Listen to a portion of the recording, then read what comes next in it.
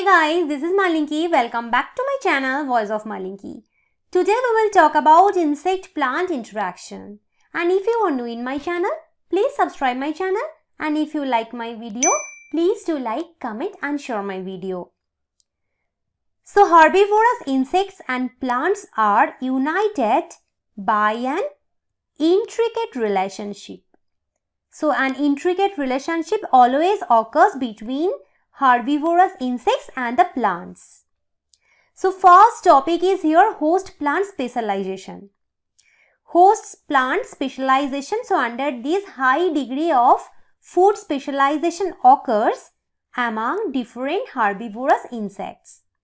So different herbivorous insects have high degree of their food specialization. So based on the degree of food specialization, insects are of three types. First is monophagous. These insects feed on only one plant species. Example, one of the grasshoppers, Bootettix argentatus, is monophagous on creosote bush. That means these grasshoppers only take food from this creosote bush.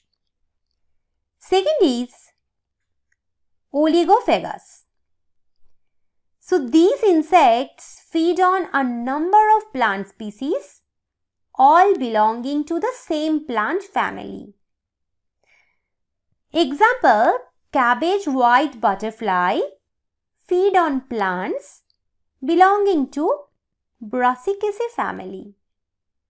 So here basically these insects take their food from different plant species but they all are in the same plant family. Next is polyphagous. So here these insects feed on many plant species belonging to different plant families. Example, the green peach aphid feed on more than 50 plant families. So they are not very much choosy about their food. They can take their food from different plant species from different plant families. Specialization on plant parts. Insects rarely thrive equally well on all parts of their host plant. Each insect species shows a specific need. Because their host plants will contain leaf, root, stem, etc. But insects are not interested on all of them. So first is leaf here. Many caterpillars, beetles and grasshoppers feed on leaves. So different caterpillars, beetles and grasshoppers feed on the leaves only. They ingest large chunks of leaf material. Different species may dig different layers of leaf parenchyma. For example, leaves of birch are attacked by Fenusa pumila.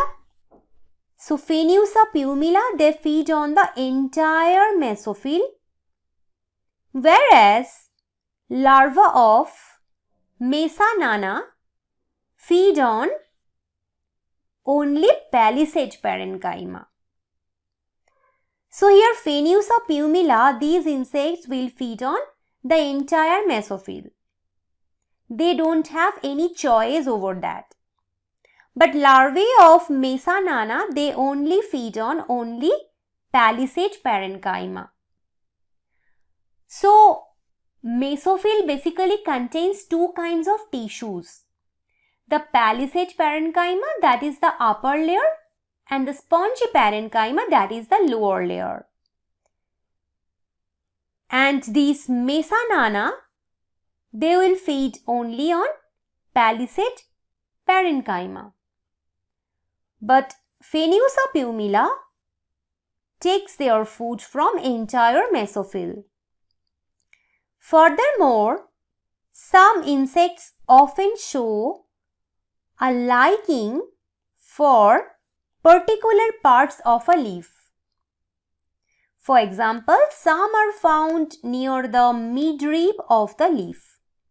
So, in this picture, we can see that this is the midrib of leaf and these black dots are basically insects here. So they are found in the midrib of the leaf or nearby the midrib.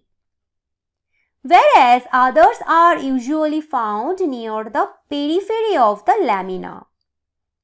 So in this picture you can see that insects are in periphery of the lamina. So they are in the periphery of the leaf but the central portion this is the central portion. In this portion no any insects are there. Different leaf parts test different and possess different physical properties. Larvae of several moth species can discriminate between basal, lateral and terminal leaflets of their compound-leaved food plants and show a dislike of basal leaflets. So this is the compound leaf we can see here. This is the terminal leaf these are the lateral leaves and this is the basal leaves. So some insects will prefer these terminal leaves. Some will prefer these lateral leaves. And the example is here that larvae of several moth species, they can discriminate between these leaflets and they show a dislike. They don't like the basal leaflet Next is epidermal cells. These cells are outermost layer of many tissues including the stem, root, leaf, flower, fruit, etc. Plant bugs penetrate epidermal cells and ingest cell contents. So plant bugs they take their food from epidermal cells. Next is phloem. Aphids suck from sap flow in phloem sieve elements. So sieve elements are specialized cells of phloem. And aphids take their food or you can say they suck from the sap flow in phloem sieve elements. So they suck the liquid parts that is the sap flow from the phloem sieve elements. Xylem. Spittlebug suck fluid from xylem. So these insects they suck fluid from xylem. Stem.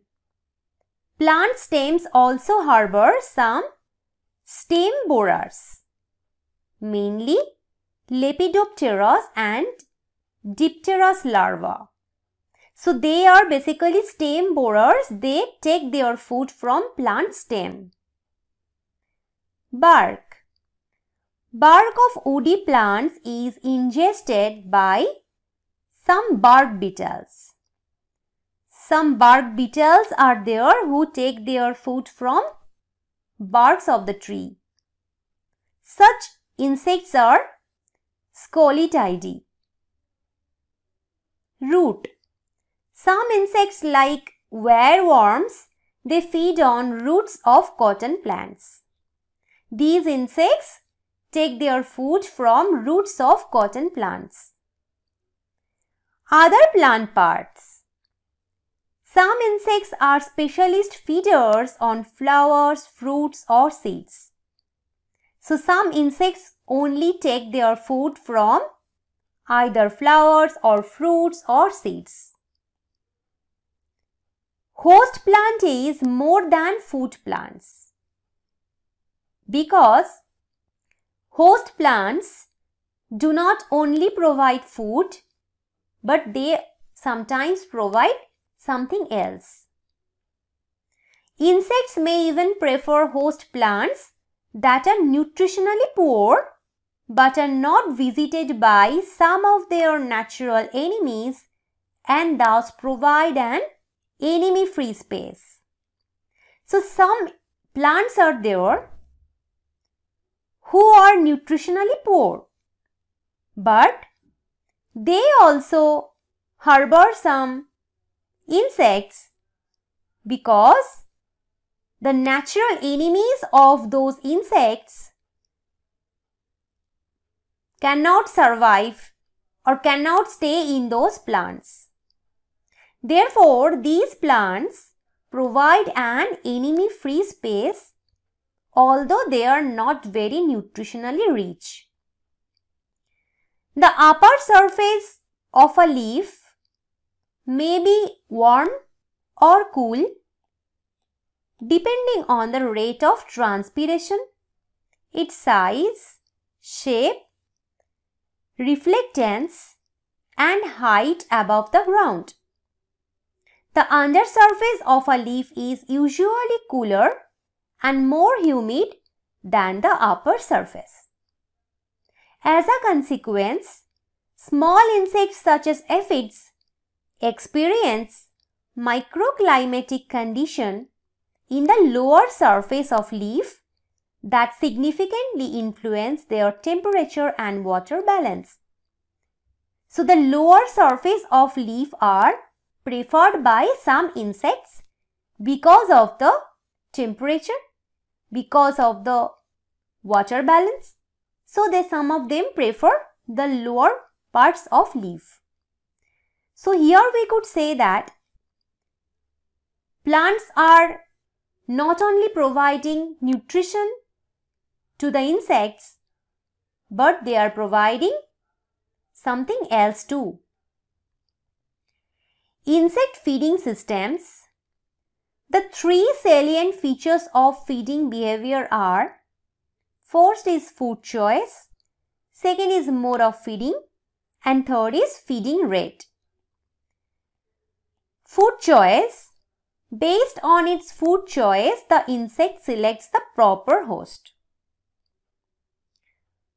So, depending on its food choice, the insect will select the appropriate host. Mode of feeding. Insects use one of two modes of feeding. Some bite off and chew their food. So some insects are there who can bite off and chew their food and some will suck liquid nourishment. So some will bite off and chew their food, some will drink the food. Biting chewing insects are known as mandibulates because they possess mandibles or jaws. Mandibles serve to cut and grind the food.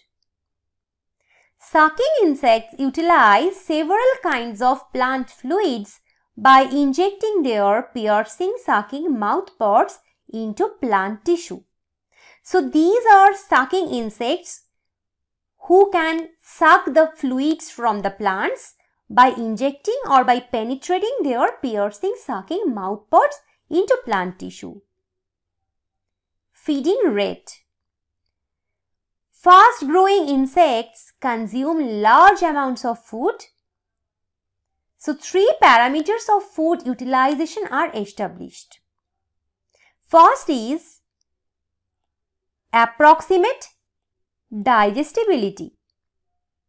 So, depending on the digestibility, insects take their food. Some of them can digest faster, they will take more food compared to those insects who cannot digest faster. Second is efficiency of conversion of ingested food to body substances. So some of them are very efficient to convert the ingested food to body substance and they will take more amount of foods. Third is efficiency of conversion of digested food to body substance. So some insects are very efficient to convert the digested food to body substance and they will take more amount of food. Plant factors involved in host-insect interaction. So morphological characteristics are there. Morphological characteristics are described below. So here first is wax. The cuticles of most vascular plants are covered with a thin layer of hydrophobic wax. We know that wax are hydrophobic and the cuticles of some plants, most of the vascular plants are covered with wax. These wax coatings play an important role in the protection against insect herbivory. So plants also have different ways to protect themselves from the insects. So here first is wax. For example, the presence of cuticular wax on leaves of eucalyptus. It causes increased leaf seepladiness. So in eucalyptus trees, cuticular wax is present on leaves and that provides the leaves slipperiness thereby hindering herbivorous insects from adhering to the leaf surface. As the leaves are slippery, it is difficult for the insects to adhere to the leaf surface. Next is trichomes or plant hairs.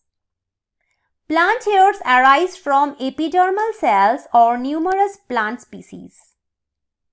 They increase a plant's resistance to insect damage by providing an effective barrier that prevents small insects from moving and contacting the plant surface. So basically plant hairs are arising from different epidermal cells and these hairs actually provide an effective barrier because these hairs prevents small insects from moving and from contacting the plant surface. Leaf toughness. Plant cell walls strengthened by deposition of macromolecules such as cellulose, lignin, suberin and callose together with sclerenchymatous fibers make a plant resistant to the tearing action of mandibles or the penetration of piercing sucking mouthparts of herbivorous insects. Leaf tightness therefore acts as an effective factor reducing herbivory. So we know that plant cell walls are very tough they are rigid because they are made up of these different constituents and they are very hard. Therefore, they are resistant to the tearing action of mandibles or the penetration of piercing sucking mouthparts of the insects. Therefore, these tough leaves, they act as an effective factor for reducing this type of herbivory. Next is C4 plants. So C4 plants have a distinctive leaf structure. In these plants, the veins are surrounded by a layer of large thick-walled vascular bundle sheath cells. So we can see these are bundle sheath cells. These are very thick cells. These anatomical modifications have been found to affect insect herbivory. The edible sheath cells are reinforced with hemicellulose which many insects cannot digest. So these cells have some amount of hemicellulose. Therefore, the insects cannot digest that hemicellulose and therefore these plants leaves are protected from them. This is the advantages of some C4 plants where these bundle sheath cells are present which are made up of hemicellulose. Mutual relationship Hollow stems and thorns of some plants provide nesting sites to ants. So some plants have hollow stems and thorns. And those hollow parts basically provide the nesting sites to ants because ants can stay in those hollow sites. Owing to their carnivorous habits, these ants effectively protect their host plant against herbivorous insect damage. So these ants which are resting in those hollow sides of those plants, they are carnivorous that we know. As they are carnivorous, they protect their host plant against herbivorous insect damage.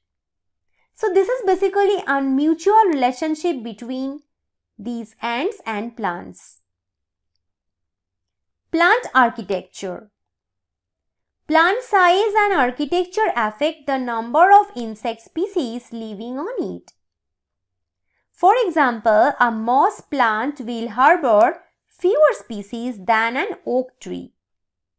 So, moss plant basically harbors less species compared to the oak tree.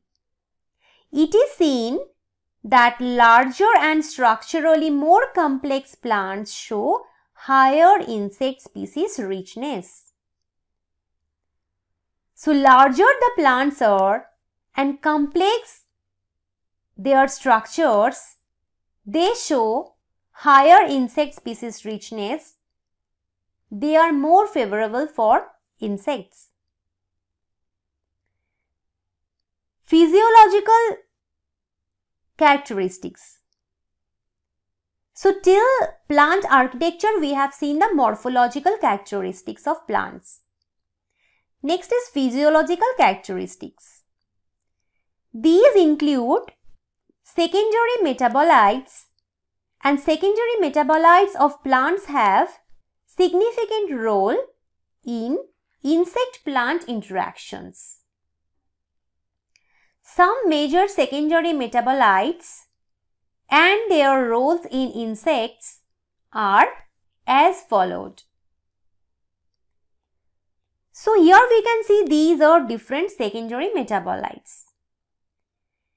And basically they have a role here. So alkaloids. So alkaloids are toxic and bitter tasting. Amines are repellent. They are insect repellent. Glucosinolates are bitter taste. Cyanogenic glycosides are poisonous. Terpenoids are bitter and toxic. Polyacetates are also toxic. So plants secrete these type of secondary metabolites which will repel the insects. Now, how does an insect choose its host plants? So, first is finding the general habitat.